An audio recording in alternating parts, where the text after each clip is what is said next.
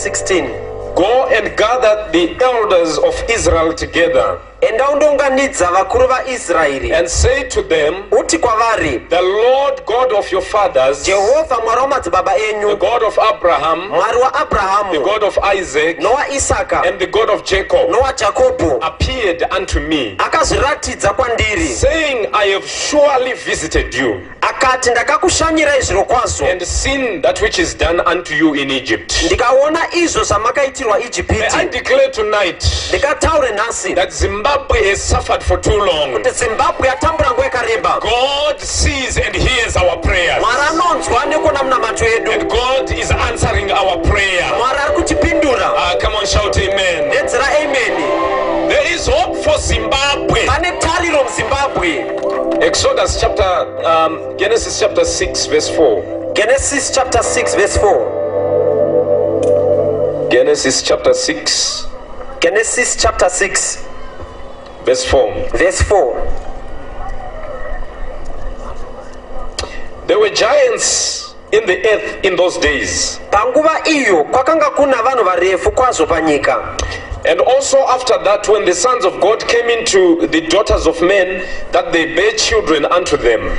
Napashurewo kana vanakomana vamwari vakapinda kuvanasikana vavanhu ivo vakabereka vana The same became mighty men, ndivo vaiva vanhu vane simba vakare which were of old men of renown. vakanga vakakura vane mukurumbira They were of old men of renown. vakanga vari vekare vane mukurumbira The same became mighty men. ivo vakava mhare May God make you to be a mighty man tonight. mwari ngaakuite mhare May God make you to be a mighty woman tonight. mwari ngaakuite mhare nhasi The same became mighty men, ivo vakava mhare which of old were men of renown. vakanga vari vanhu vane mukurumbira you be a person of renown. mwari ngaakuite munhu wemukurumbira the mighty name of Jesus Christ. muzita rajesu kristu we are going to rush to Matthew chapter 19, verse 30. tichamhanya kuna mateo 19 verse 30 Matthew chapter 19, verse 30. mateo 19 verse 30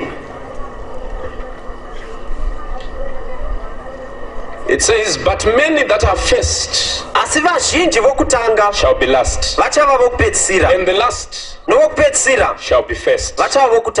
May God richly bless the reading of His word tonight. Let us just pray. Father, we thank you in Jesus' name. baba tokutendai nezita Thank you that, because there is no one like you. tinokutendai nokuti hakuna akaita semi Surrender spirit, soul, and body to you. tinozvipa kwamuri Speak your word. taurai shoko renyu Your word, O Lord. shoko renyu mwari Your word shoko renyu in our lives. muupenyu In the mighty name of Jesus. muzita rajesu kristu Amen. amen Hallelujah. Amen. Let's just clap hands for our praise team as they resume their seats in the presence of God Almighty.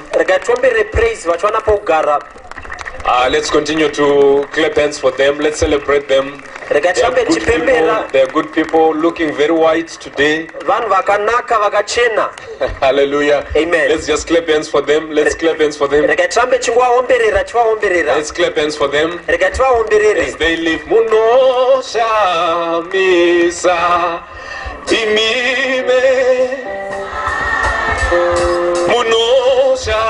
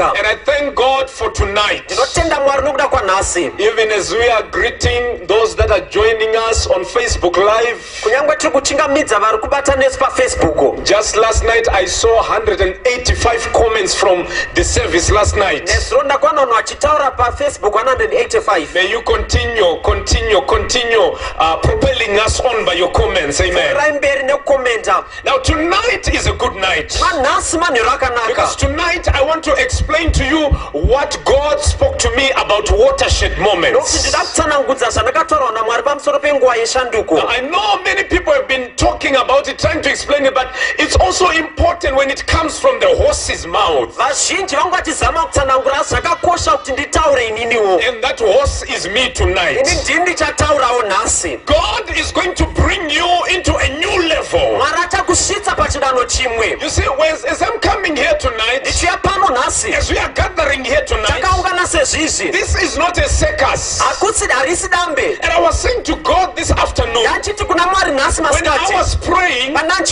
I said, Lord, we can't be gathered for nothing. I said, God, yes, groceries have been bought to us. I said to God, yes, cars have been bought to us. I refuse to partake of people's groceries.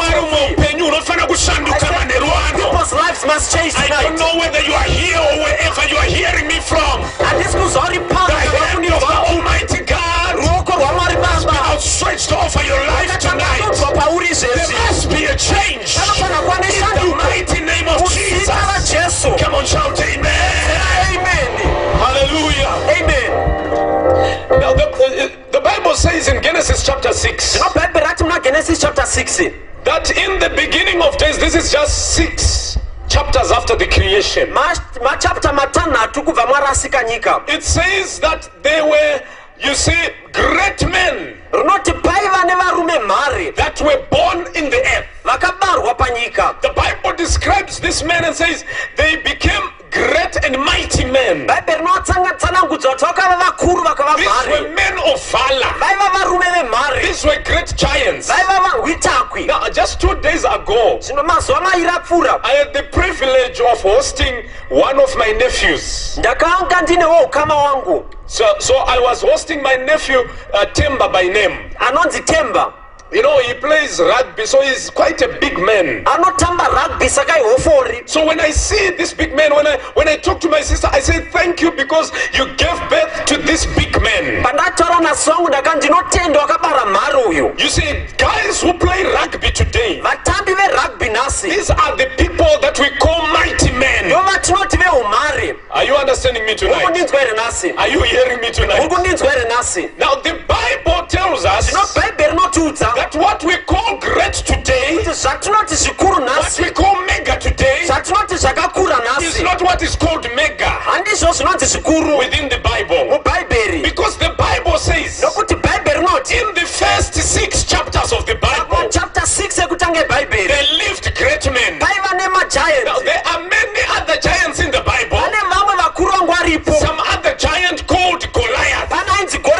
And we understand that Goliath was a great man. tinonzwisa kuti goriyati aiva mhare Probably was oh, taller than this stage. chidanga akareba kupfuura stage But the Bible says asi bhaibheri roti before the time of Goliath, goriyati asati avepo they were mighty men. paiva Are you understanding me? uri kundinzwa here nhasi Those that we are calling mighty today, vatiri kuti mhare izvezvi in those days, panguva iyoyo they were called the little ones. vainzi ndo vechidiki Are you understanding me? uri kundinzwisa Are you understanding me? muri kuzvinzwisisa Now, you, you, you might say, Apostle, what are you trying to say here? kuti apostle muri kuzama kuti kudii I am saying ndiri kuti our standard in this age, chiyero chedu panguva ino what we call big in this age, zvatinoti zvikuru izvezvi according to Genesis chapter 6, maringe nagenesis chapter is 6 something very small. ndo zvidiki diki Are you understanding me?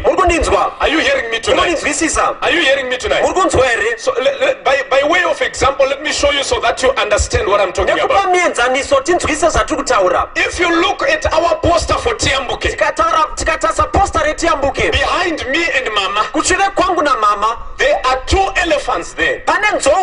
Now, the elephants have been strategically put behind us because we have been in the season of makeup so in the animal world the megarest of all animals muka wombe kufura is the elephant. Insowu So today, nasi, the biggest animal mukawombe is the elephant. Inzo, But if in science, asikunyangwe ze science, it tells us that before the elephant was the biggest.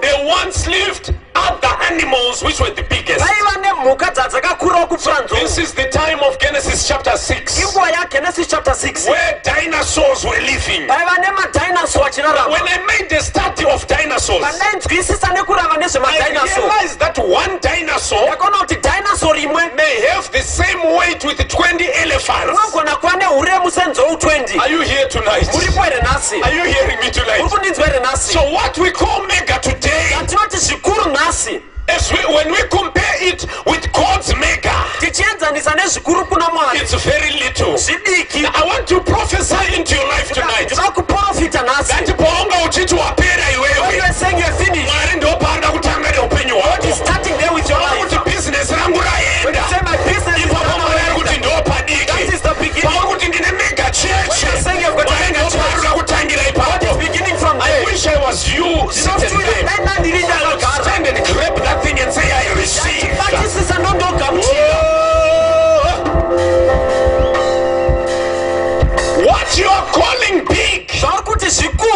Small according to God. zvidiki maringe namwari Are you hearing me tonight? uri kundinzwa here nhasi So, God wants to do big things for you. mwari adaita zvikuru kwauri Where you are today is not God's desire for your life. pauri nhasi handipo pamwari panoda kuti uve The house you build is not God's desire for your life. imba yauinayo handiyo yakarongerwa namwari God wants to give you greater things. mwari ada kukupa zvikuru Because according to nokuti maringe nebhuku ramateu the first shall become last ekutanga vachava kupedzisira in other words ekumwe kutaura. whatever came in the beginning zvose zvakatanga. in the beginning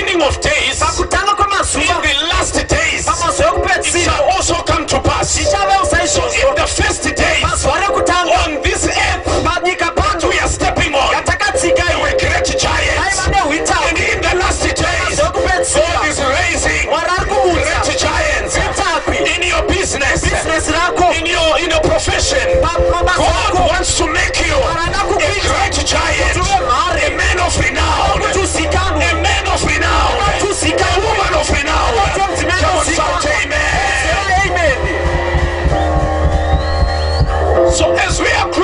season of mega, tichivhara mwaka wezhinji this is the time to harvest. ndonguva yekukohwa This is the time to harvest. ndonguva yekukohwa And you, as you are harvesting, uchikohwa ipapo I want you to see God's mega, not your mega. da kuti uone zvikuru zvamwari kwete zvako Oh, so when God is seeing certain, because the Bible in Job chapter 8, verse 7 says, Though your beginning was small, yet your latter end shall greatly increase. bhaibheri rinoti kunyange mavambo aiva madiki asi magumo achange akakurisa So turn to your neighbor and say, Though your beginning was small, tasari pedyo noti kunyange wakatanga zviri zvidiki yet your latter end shall greatly increase. asi magumo achava akakurisa Now, when God wants to change your life, kana mwari achida kushandura upenyu God wants to change your destiny, kana mwari achida kushandura ramangwana He doesn't use anything else except a word. hapana chimwe chaanoshandisa kunze kweshoko This is why I'm celebrating you tonight are here. I'm not going to give you money, I'll give you a word. kuti handisi kukupa mari asi ndichakupa shoko. Life changes because of a word. upenyu unoshandurwa neshoko shoko. Ramwari rikabata upenyu the hwako word of the lord gets hold of your life step inochinja your step changes. Shoko ramwari rikabata upenyu when the word of god gets hold of your life inopera your, the desire for shoko ramwari rikabata upenyu the word of the lord gets hold of your life inopera a thief comes to an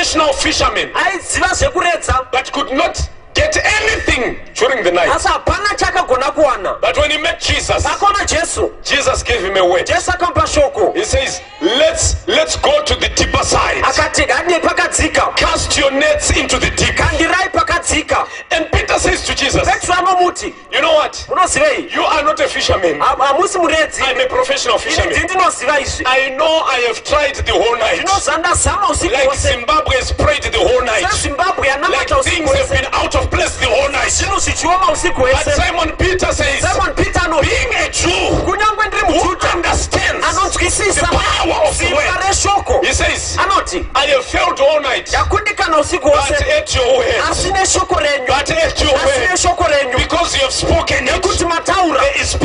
Ane simba.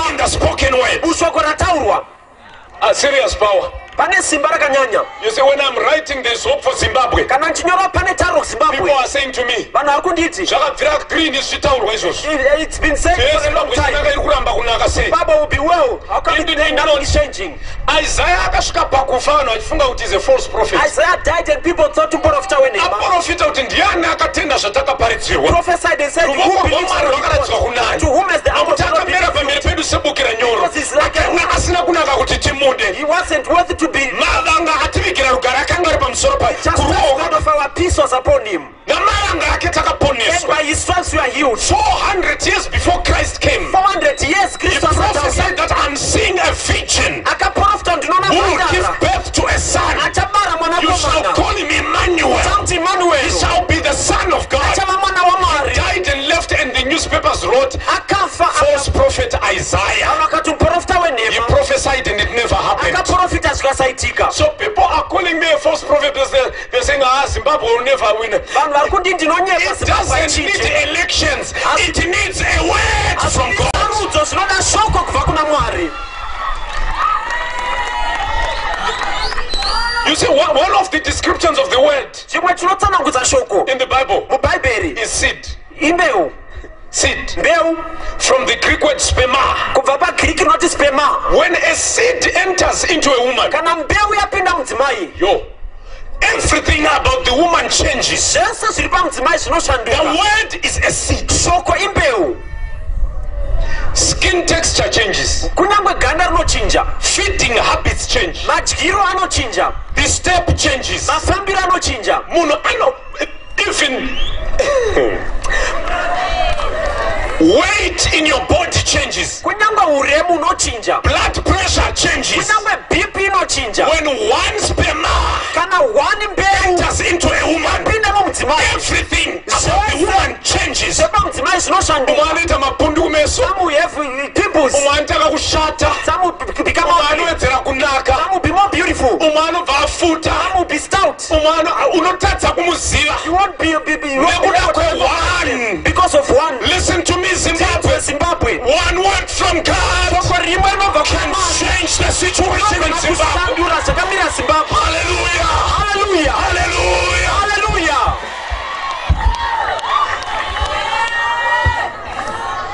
a word from god shoko kubva kuna mwari. changes everything. Rinoshandura zvose so god sends a word. Mwari anotumira shoko. The psalmist says he sent forth his word and his word healed them. Mapisarema anoti vakatumira shoko shoko rikaporesa. So he sent a word akatumira shoko. in exodus chapter 16 vaexodo 16 moses mozisi go to these people enda kuvanhu ava and tell them unovaudza. I have seen your affliction. Ndanoona matambudziko enyu. I have visited you ndakushanyirai and seen your affliction. Ndikaona muchitambura. Now is your time zvino nguva yenyu yasvika. for deliverance to come. Yekuti dzikinuro isvike. declare into your life ndakutaura muupenyu hwako gone through a lot of things wapinda but nezvizhinji i stand here as a prophet of god. asinomire soprofita wamwari declare into your life ndichitaura muupenyu you have hwako suffered for too long watambura nguva but yakareba enough is enough. Zvakwana zvakwana kwanele manheru ano zvakwana izvezvi tonight is your watershed moment. Nhasi nguva there must yeshanduko be a change in your life. Kwane shanduro life cannot continue to be like this. mafuro akadaro shout amen. Edzera Ah, amen come on shout amen. Edzera amen. Hallelujah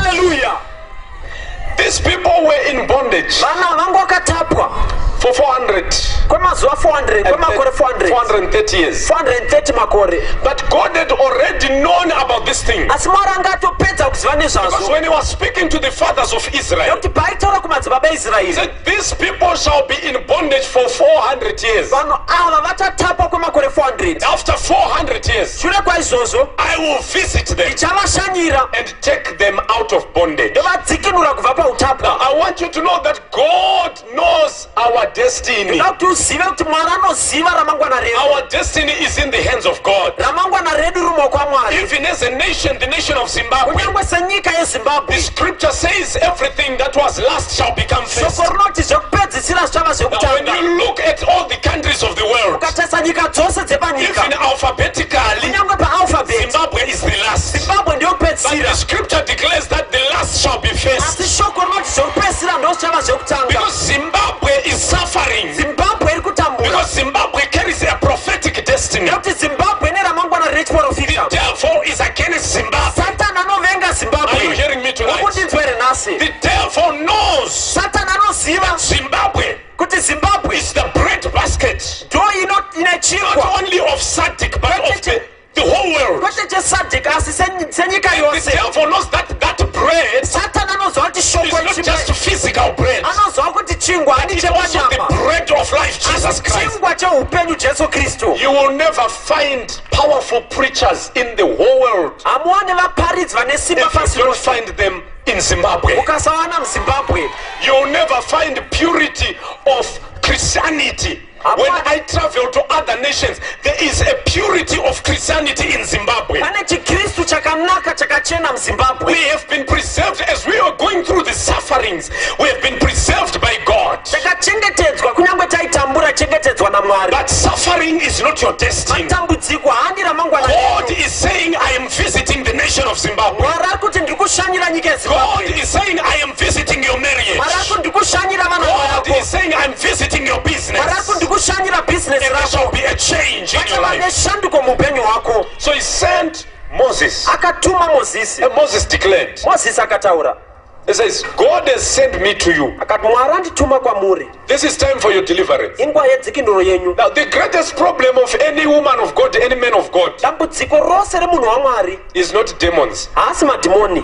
but those that he has been sent to. asi vanhu vaakatumirwa nekuti kana ukasvika ukanotaurira vanhu vagara musungwa for 400 years kuti akubuda vanokubvunza kuti uri kupfuta mumanjerudzii if you say to people who have been in bondage for 400 years that you are going to cross over they'll say what type of dog are you smoking? Farao unomuziva do here you know pharaoh nekuti farao aikonzidwa samwari munyika yake. Because pharaoh was considered as god in his nation. Farao unomuziva do here you know pharaoh uri kutaura kuti tinobuda tinobuda sei pakadai you think we'll come out? How will we come out now moses anoramba akatsika nekuti akaona mwari. Moses presses on because he saw god. Ndo dambudziko rine vanhu vasingaone zviri kumberi vanoramba vachingoona zviri panapa. Kana wakaoneswa namwari unoramba uchiona kuti panoita tinoyambuka tinoyambuka tino kunyange gungwa dzvuku riri pamberi tinobayambuka chete apa. If you have seen god you say we'll cross over even if the red sea is before us we are going to cross over. Nekuti kana ukaona mwari ukatya mwari hakuna chimwe chauchatya panyika when you see god and fear god you don't fear anything else. Kana mwari akakuvhundutsa hauna chimwe when chaunovhunduka god alarms you you won't be alarmed by anything. Unozviziva kuti you zvinoita know that it's possible. Nyika yemabondinoti in zvinoita the land of bonds it's possible in nyika yeikonomi yakadonha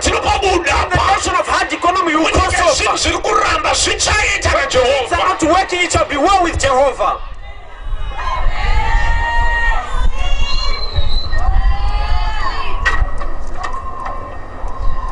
so god says mwari anoti go and tell them. enda unovaudza. I'm bringing them out. Ndiri kuvaburitsa. They argue with god. Vanopikisana mwari. Until the miracles of god begin happening. The miraculous begins happening. Yotanga and as the miraculous is happening. The people are being released out of the nation of of, of egypt. Vanhu vari kusunungurwa kubva munyika yeijipita now how did they get into such a situation? Vakapinda imomo sei? They were just 70 in, our, in their family. Vaiva 70 mumhuri mavo. And they came into this nation. Vakapinda munyika umu. And the bible says after you know joseph died bhaibheri rinoti josefa afa. there arose another pharaoh. Pakamuka umwe faro who did not regard what joseph had done. Asina kuziva nekuona zvakaitwa so najosefa people who were once on the top vanhu vaiva pamusoro their lives were changed and they became slaves in the upenyu hwavo hwakashandurwa vakava varanda munyika imomo. But the bible tells us that god gave grace unto them. Asi bhaibheri rinoti mwari akavapa nyasha. And they multiplied. Vakatanga kuwanda. Now as we are meeting them here tichivaona ipapo. there are nothing less than 3 million people vanosvika 3 miliyoni in a strange land. Panyika isiri yavo. And pharaoh begins to to to feel in his spirit. Anof- anonzwa mu- munyika yemweya. These people might be a problem to me. vanhu vanogona so he begins to put measures to control their, the, the, the, the, those people. Anotanga kuisa zvinonetsa kuti vanhu vanetsekane i want to tell you after speaking this word ndapedza kutaura zvinhu izvi. the devil understands and believes the word that i'm preaching here tonight more than you. Satani anotenda nekunzwisa shoko randiri he kutaura knows kupfuura. that this is the moment where god wants to change things. Anoziva kuti ndo mwaka nenguva yada kushandura zvinhu namwari. And he's going to try to harden things in our nation. Achazama kuomesa zvinhu munyika medu. But god is god. Asi mwari ndimwari i said god is god. Ati mwari amen satana say amen for the devil to go crazy. And so as they were going out god gives a specific instruction. You shall find favor muchawana nyasha with the people of egypt. Nevanhu veijipita and then you shall ask from them muchavakumbira their gold chains goridhe ravo gold earrings. mhete and you dzegoridhe are to put them on your sons and daughters. Wozvisa pavanakomana as vedu. God is delivering you out of sin mwari ari kukudzikinura kubva pazvivi god is delivering you out of demons mwari ari kukudzikinura kubva kumadhimoni just doesn't want you to be delivered out of spiritual things. Hadi kuti ungodzikinurwa pazvemweya chete will not come out with a bible only. Haungobude nebhaibheri chete god wants you to come out with gold and asi silver mwari ada kuti ubude negoridhe nesirivheri tonight taure nhasi. that may gold and silver become your portion. sirivheri negoridhe ngazvive You zvavo have been poor for too long. wava murombo nguva yakareba. tonight, asi kubva nhasi. silver and gold belongs to God. sirivheri nendarama ndezvamwari silver and gold become your portion in the mighty name of Jesus.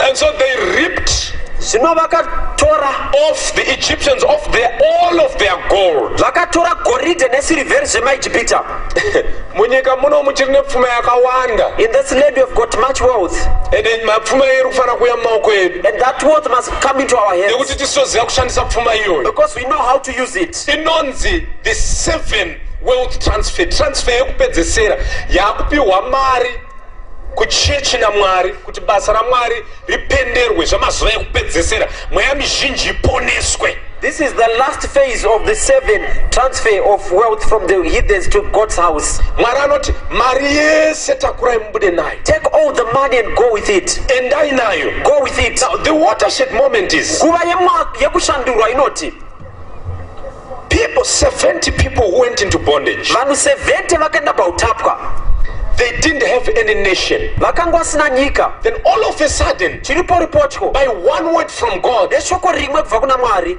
Overnight. Usiku umwe chete. Yesternight. Nezuro racho they were slaves. Vanga vari varanda. That's chapter 12 chapter 12 and god begins to say to them tomorrow morning you shall have all the gold and from tomorrow kubva mangwana this shall be the beginning of your years. Ndopachava kutanga kwemakore enyu this shall be the beginning of your year. Ndopachava nemavambo eupenyu whether it was in the sixth month or in the fifth month kunyange ngori mwedzi wechi6 kana 5 that was not a big deal with god. Yanga isiri nyaya pamberi pamwari god is saying today asi mwari ari kuti nhasi. beginning of your year. Ndopakutanga as kwemakore you cross over as you pass over uchiyambuka this is the beginning of your year. Ndopakutanga we are kwemakore not going to make august january siku zote August definitely we are going to say from today. This is going to be the beginning of a new life in your life. This is going to be the watershed moment of your life. Eshanduko wako. Are you understanding me? It says this month shall be unto you anoti uyu kwamuri beginning of months. Uchava ma- wekutanga this shall be the beginning of your year. Uchava mavambo emakore are you mazhinji understanding me tonight? So god wants to make a new beginning in your life. Seventy kupa mavambo matsva muupenyu hwako 70 slaves. 70 nhapwa they are coming out. Kuyambuka overnight. Usiku mwe chete. No longer slaves. Havasisiri varanda do you know kuti mwari kana ada chete? If god desires mangwana makuseni unokwanisa kumunga wakudhiraivha iwe tomorrow morning you'll be a driver handisi kutaura zvekufadza iwo ndiri kutaura zvakaitika I kuijipita don't want to kuti excite you. nezuro vakanga vachitokanya zvidhina. Vachibva vaita all night mangwana acho. vatotakura goridhe they were nesilvheri now carrying gold and silver. Dzimwe nguva muna mata yamwari inononoka.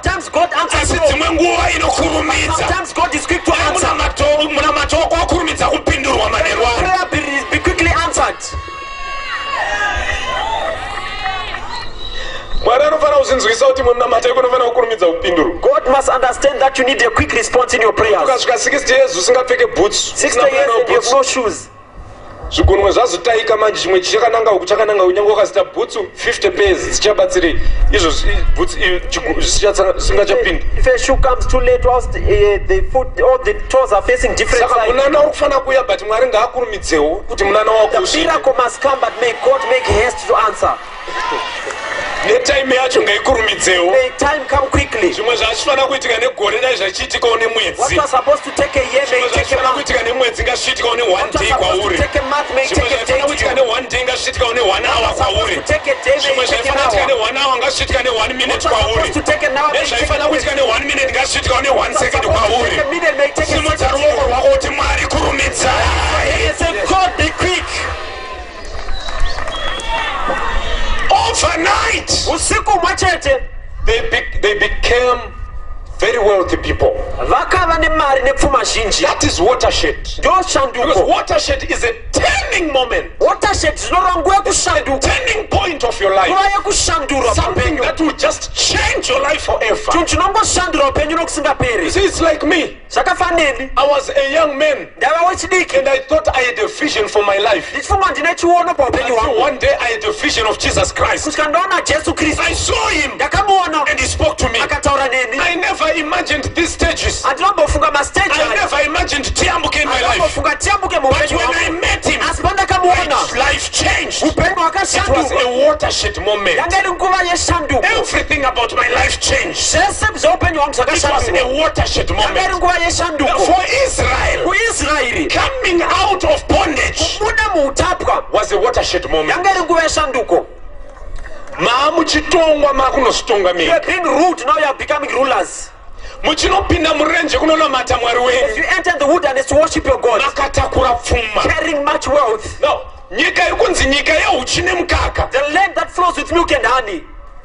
Hakuna rwizi runoyerera uchi nemukaka. There is no river which flows with which has got to be milk and honey. In fact nyika yacho yeisrael in fact the land of the better israel part is a desert pakakura pacho irenje so it's like god is confused taking you out of bondage into a, into a desert. Zvotonge mwari asina kunyatsofunga asina kurongeka kuti angakubvise munyika yakanaka okuisai murenje but god knows. Asi mwari anoziva. One day the psalmist in psalm 46 said rimwe zuva akanyora mapisa rema 46 there is a river pane nzizi which makes glad the city of god. Inoita kuti nyika yamwari ifare many years after david prophesied that makore mazhinji dhavhidhi they aprofita realized that right there in jerusalem under the earth there. mujerusarema pasi pane rwizi ruripo. He says isu hatityi kunyangwe kunyangwe nyika ikashekwa kunyangwe zimbabwe ikaita ngeda kudonha kunyangwe ichiita kunge ichida kutengeswa. Isu hatityi nyangwe nyika ikasheka nyangwe makomo akabviswa. Isu ticharamba takamira nekuti mwari unotisimbisa segomo zion. Hapana kwatinoenda. We will not be shaken even though hardship comes away because god will make us strong like Zion. murume achiramba achikupromisa kuti uchaenda chete iwe uchaenda chete iwe. Iwewe hausi kucha to go. Do be afraid. Be strong like mount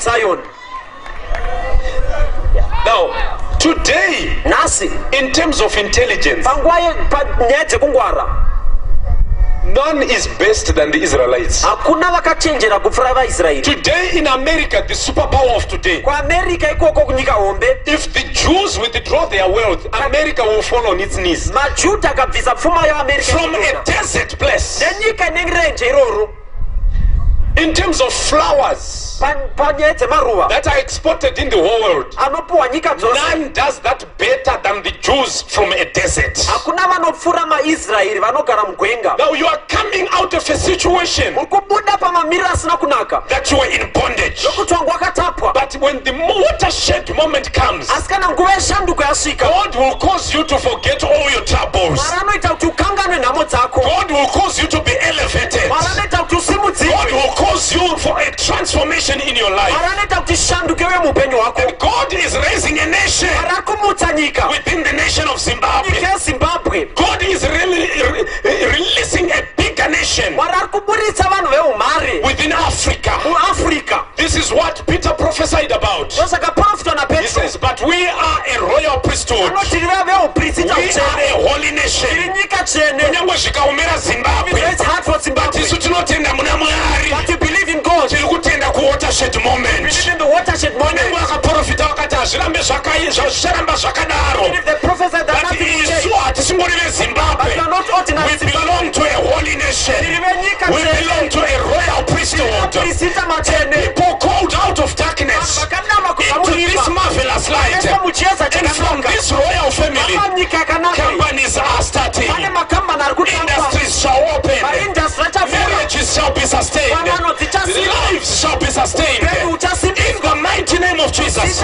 Tonight, God is releasing nhasi mwari ari a watershed anointing over your life. We are standing takamira on the platform of the change in history. There's going to be a transformation. There is going to be a change. From tonight, the anointing of God is here. The angel of God is standing with us. I don't care what you went through, Zimbabwe. I don't care what people are saying. Vanhu vari kuti But tonight is your night. The spirit realm. Begin to speak right now. Let change. Let there be watershed over your life. I speak watershed. Over your marriage. I speak watershed. Over your business. I speak watershed. Over your ministry. Ministry I speak watershed. Over this city. I speak watershed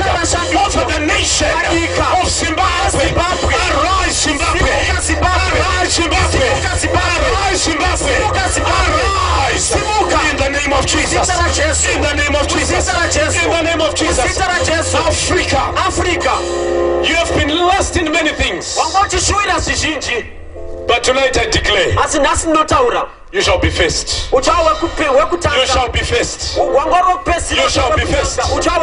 Shall be faced. I declare tonight that tonight is your night. Tonight is your night.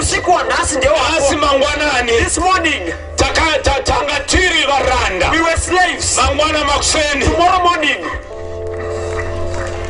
tiri kubuda takadengezera. we are crossing over with much. Tiri kubuda takadengezera. Coming out with much. Now, ndoda kuti ndikuudze chimwe i chinhu want you to get this. Usambofurwa kuti anzi pfuma yakapera muzimbabwe. Don't say that there's no more wealth in zimbabwe. Aa no no no.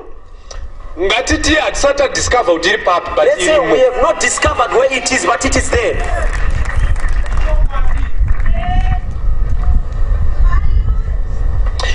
pfuma yekuti tese tidye irimo wealth for us to partake is in here? Nekuti jehovha anoziva kuti munyika yezimbabwe mune rudzi rwangu. Because jehovah knows that in zimbabwe there is his people. Mwari haasi kutendera kuti tirambe takadai. God do not allow us to remain the same. Ndotaura semuprofita wamwari manheru speak wani as a prophet of the lord right kuti mwari anzwa kuchema kwezimbabwe. God has heard the cry of zimbabwe. Mwari wanzwa kuchema god has kwezimbabwe. heard the cry of zimbabwe. Mwari anzwa kuchema god kwezimbabwe has heard the cry of zimbabwe. zvichatora 3 years. Maybe to take three pamwe years zvichatora 5 maybe years to take five years. zvichatora 10 maybe years. To take ten years. Zvichatora 20 years. Maybe to take twenty years. Handizive zvangu. I don't know. Asi chandinoziva but what i know kuti panyika ino. this land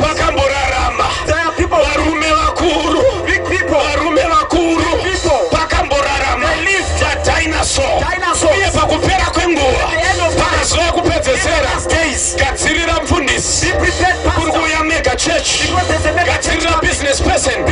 Kuya make a business. Katsirira angari murombo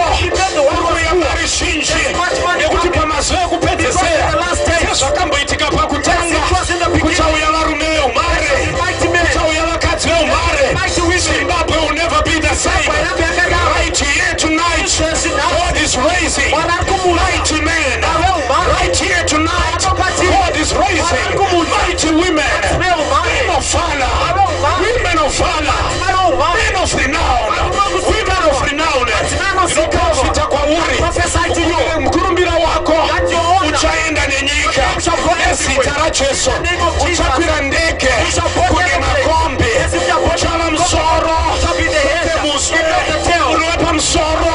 Kwete wepasi. Waracha kuroba fata mkuta. Acha kuroba fata mumunda. Yesu itaracheso. Mapuma ndege. Jesu, maphorisi ndeyakho ezitha lajesu negachurch ndeyakho ezitha lajesu fuma ndeyakho eramen sathemavoitane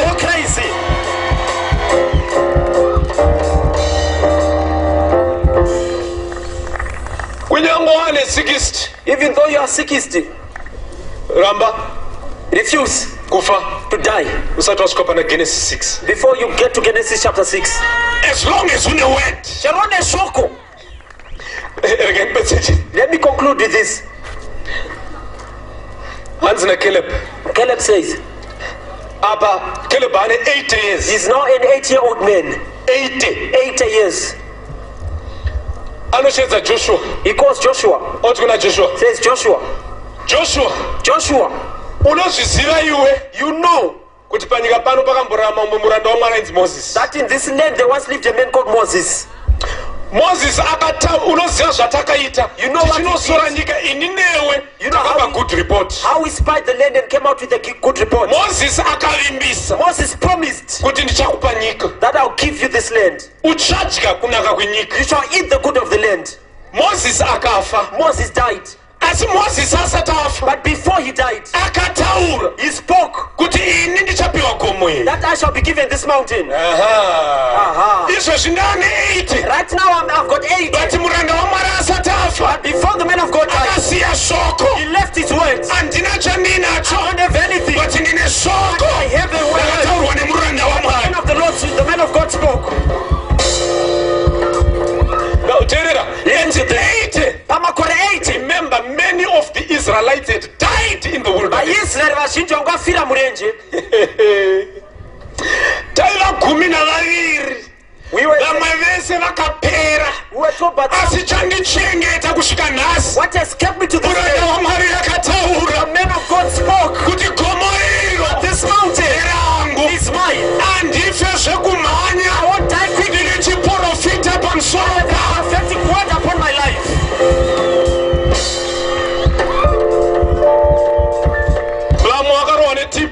vashoina some died of tb vamwe vakarova nekensa vakaenda some died of cancer. Vamwe vakarova nemota vakaenda some died of accidents. But joshua but joshua rangarira.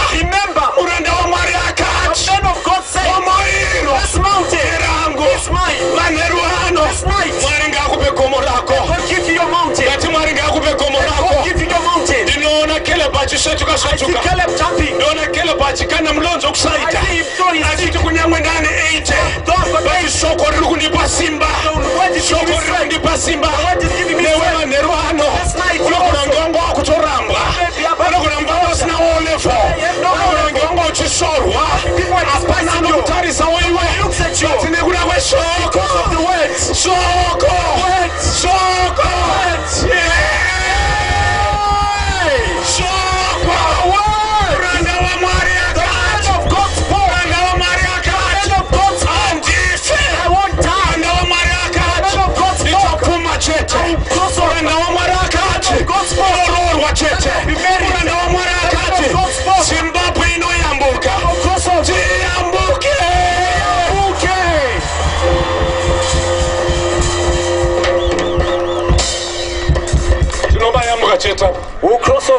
patinopayambuka simudza manje ako kuna mwari titaure nababashakanda namasiyanderebotseranda tata namasiyanda makasanda raboshiyatsamayakatata rakomondoromosiyanda tata. namasiyanda kalamayakatsandereboshiya mandaraboshiya shamisa muromo wako botana Uganda. Open your mouth. Talk to God. Talk to God. Talk to God. Shakandala babini de bosh. Kasikatala babini. Kalibra katale bosande de bosh. Rianda rabala rabala rabasakata. Lift up those holy hands to God. Begin to talk to the Father. Shakala mandara basaya. Kele mandara bashianda tata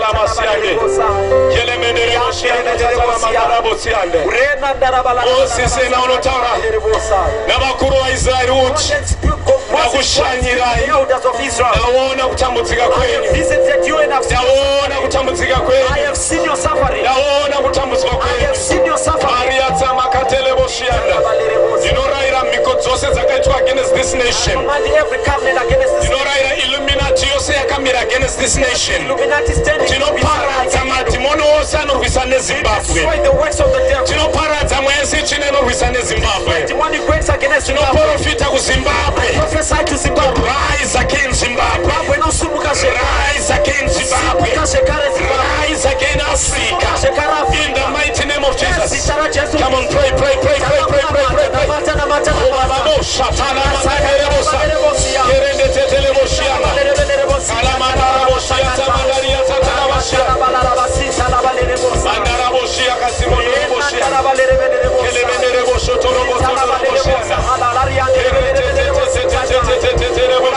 bossia rita la bossia la bossia ndetetere bossia ela mandara bossia ndetetere bossia rikota la bossia tala balere bossia ala katala bossia tala balere bossia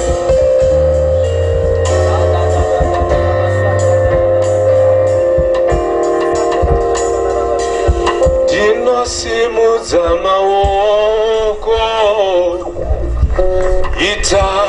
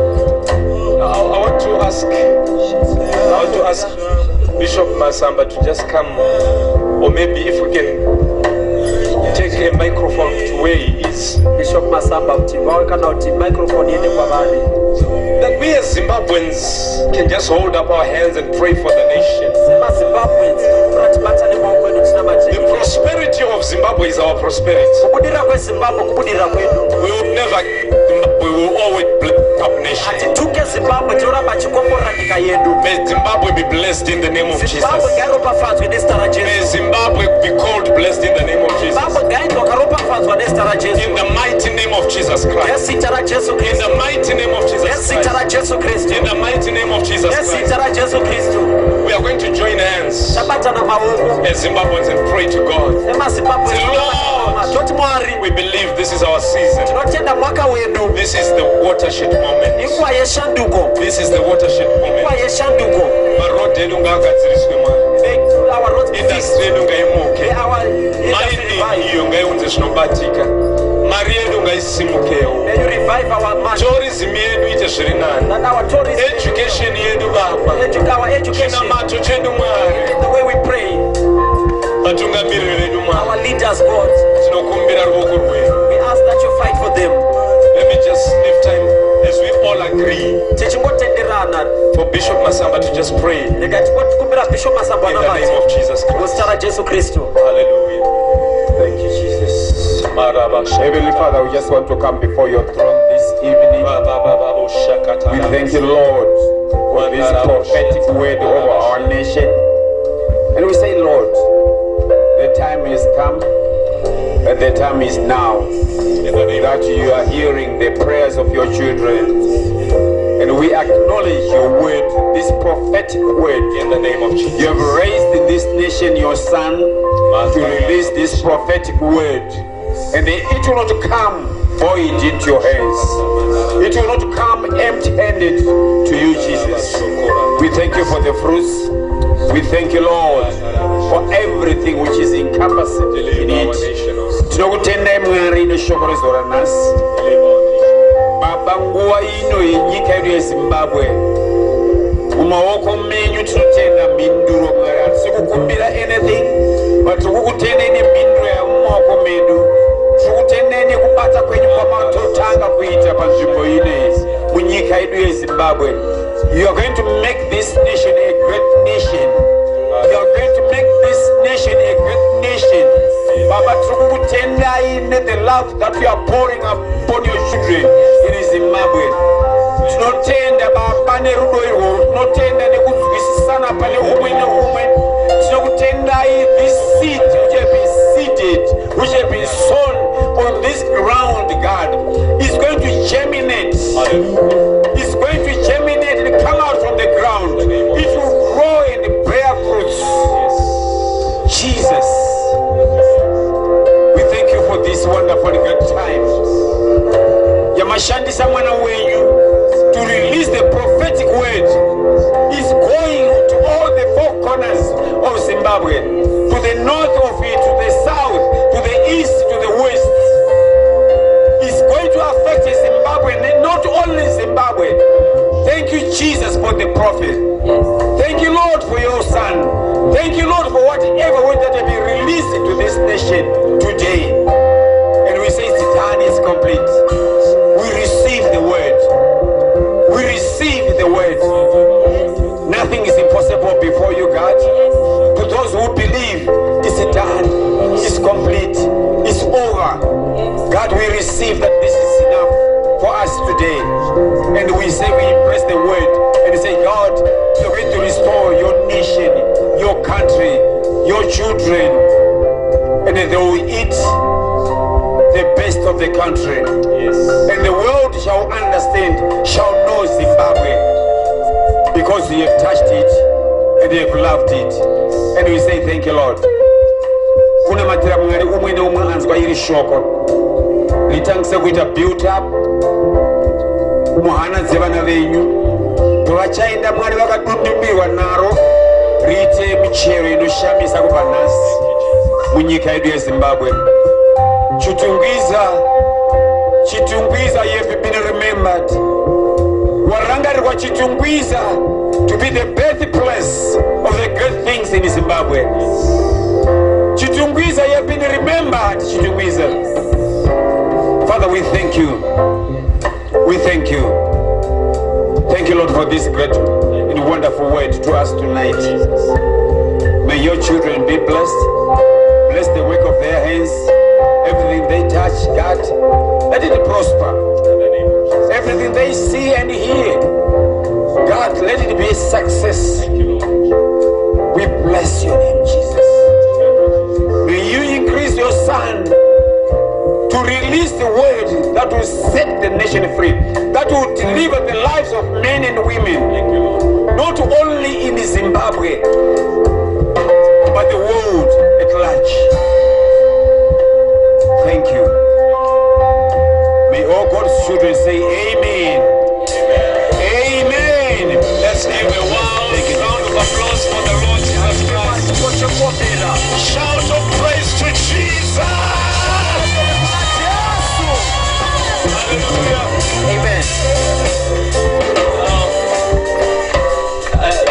Short while, I want to pray for those who are sick from where you are. God is going to deliver you. But before I do that, I want to tell you the most the most important decision in life Is the decision to receive Jesus Christ as your personal Lord and Savior. Wow. 1984, 1984 I received Jesus. ndakagamuchira jesu I will never regret why I received Jesus Christ. handinyunyute kuti sei ndakagamuchira jesu I want to say to you tonight, whether you are here or you are on Facebook, wherever you are, uri pano pafacebook chero kwauri is for you to receive Jesus zvakakosha kuti ugamuchire jesu You are kristu. here and you say, Apostle, ndanzwa shoko I ramwari want to be part and parcel of the nation of the royal priesthood. ndodawo kuva werudzi rwepamusoro ndakugamuchira jesu I kristu want you to show by lifting up your hand so tadze ndokusumudza ruoko I can rwako. pray with you from where you are right utikone now. kunamata newe uri wasumudza ruoko rwako Just lift up your hand so I can thank you for those hands. Thank you. ndinotenda nemaoko ari Thank kusimudzwa. Somebody lift up your hand. mambonosumudza maoko ako Lift up your hand so I can pray with you. ruoko rwako ndikone Lift kunamata up your newe hand all over the place, all over the place. kona You want to receive Jesus Christ tonight? uda kugamuchira jesu nhasi Can we just all follow under uh, after me in this prayer? ngatingotedzera mashure Say, Lord kuti Jesus, ishe jesu forgive me of all my sins. ndiregerewo zvivi zvangu zvose Make me to be a new creature. ndiite kuva chisikwa chitsva Because today I have believed nokuti nhasi ndatenda that Jesus kuti Christ is Lord and King over my life. In the mighty name of Jesus. Cleanse me from all my sins. ndishambidzei pazvivi zvose Make me pure in your sight. ndiite wakarurama meso menyu Write my name in the book of life. nyora zita rangu bhuku In the mighty name of Jesus. Amen. amen Hallelujah. We thank God. We thank God. We thank God. tinotenda mwari tinotenda mwari I'm going to be praying for you. Ndichange ndichikunamatirai Last night I prophesied about two people. nesu ndakaprofita vairi Those two people have been sending me messages. vanhu vavatumira mameseji One lady, I don't know if she's here, the lady that I mentioned about who almost broke her son's right hand. If she's here, is she here? andakaprofita nezuro Is she here? aripo here. Is she here? aripo here Where is she? Where is she? Over there. Over there, yes. Yes, I saw the message that she sent. ndaona meseji yavatumira Okay, I'm, I'm going to pray for you. God will deliver you from that anger that is operating in your life. There's a man, I think you, you wrote to me in the afternoon and you were saying uh, you are the person that I was talking about. You can see me also after the service, so we can pray for you that God may destroy all those yokes. And I'm going to pray if God use you during the course of this conference. konferensi ichiitwa I want you to see the information desk. kana Tell them I want to testify what God has done. udza vepainformation desk ndakupupura zvandaiitwa So I'm, I'm namwari going to pray right now. chanamata izvezvi And I'm, as I'm praying, the power of God will come upon your life. ndichinamata simba ramwari chai pamusoro pako God will deliver you mwari achakudzikinura from whatever is touching your life. papa zvose zviri kunetsa Are you understanding me tonight? kundinzwa here nhasi Are you still with me here tonight? tiri tose here nhasi Even those that are watching on Facebook, kunyange ari kuona pafacebook wherever you are in America, Canada, Ukraine, wherever you are, the power of God is going to touch you wherever you are as you believe with me tonight. simba ramwari chakubata kwese kwauri So I want you to touch the part of your body that's in pain. Ndinoda kuti ubate panokurwadza as I'm going to pray and believe with me tonight. wotenda tichinamata Father, in the name of Jesus Christ, baba muzita rajesu kristu as I stretch my hand towards your people, ndichitambadza ruoko rwangu kuvanhu venyu I speak forth deliverance. ndinotaura kudzikinurwa I release your unction. I release your great power. ndinoregedzera simba guru renyu There are people here, Lord, on this ground pane vanhu vari pano mwari that are scheduled to go for an operation. kufanira kunovhiyiwa mwari We say, let the angels of God do that operation tonight. Mwa- m- vatumwa vamwari ngavavabatsire I command those fibroids to disappear in the name of Jesus. mafibroids kubva nezita rajesu I command those lumps in their body to disappear in the name of Jesus. mapunda ari mumuviri wavo ngaabve nezita rajesu I command that sickness in their body to disappear in the name of Jesus. Pain, God in the name of Jesus. We are releasing the power of the Holy Ghost right now. We are releasing healing virtue right now. ifamba nesitara jesuzevenga isinganzwe inzwa nesitara jesuziso risingaone ona nesitara jesumeya wangu achikushungurudza buda nesitara jesuramweya yose. Mweya yose. Every yose every spirit yakakuvharira that was every you, spirit of limitation. Mweya yose ngechikudzivisa, every spirit that has kept you in spiritual egypt. Mweya yose ngakakuisa paIjipiti yemweya. come out in the name of jesus. come out in the name of jesus. That spirit will not keep you in bondage. Mweya uyo hauramba wakakuisa Because the power of God has come upon you right now. Simba raMwari pamusoro pako. Wherever you are standing right now, Pese the power of God is infiltrating your body. Simba raMwari riri kupinda mumuviri The power of God is coming upon your life right now. raMwari riri kuuya pamusoro The power of God is bringing healing to you. Simba raMwari riri kuudza The power of. God is bringing deliverance to you. raMwari riri kuudza tsikinuro. Believe right now. Receive your healing right now. I command epilepsy to go in the name of Jesus. I command that chest problem to be healed in the name of Jesus. muchifuwa be healed now. in the name of Jesus. I command those legs that are in pain be healed in the name of Jesus. I command every kind of cancer to go in the name of Jesus. Be thou healed from the crown of your head to the soles of your feet. Poreswa mropa rako maneno ano. Poreswa mzinga dzako maneno ano. Poreswa mabhonzo ako maneno ano. Simbiswa na Jehovha. Simbiswa na Jehovha. Nakurayira mhepo. Nakurayira mashari. Nakurayira mwenyesina kufanira. complete finish. What are you seeking? I command you, Jesus. I command you, Jesus.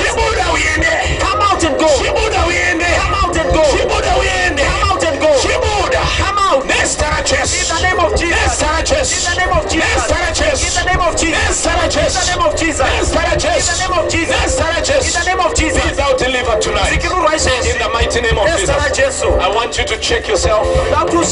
Just check yourself. I'm believing that God has healed you. Kutenda kuti mwari akuporesa I want you to check yourself tonight. da kuti uzvitarise Whether you are here, kana uri pano. whether you are in the comfort of your home, under the influence of my voice, check yourself tonight.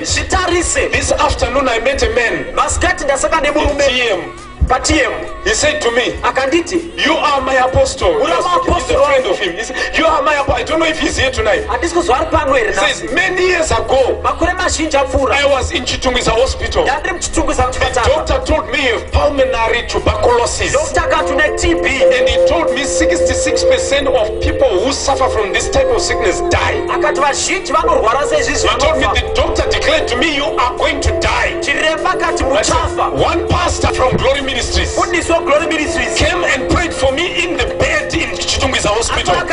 He said, Look at me now, I am well. Tuberculosis left because of the power of God. tb yakapedzwa nesimba Where- Wherever you are right now, God is bringing mighty name of Jesus. Receive it right now. Receive it right now. Receive it right now. Healing in your finances. Healing in your marriage. Healing in your life. Healing in your education. Healing in every sector of your life. Receive it now. Receive it now. Receive it now. In the mighty name of Jesus. I love you. God bless you.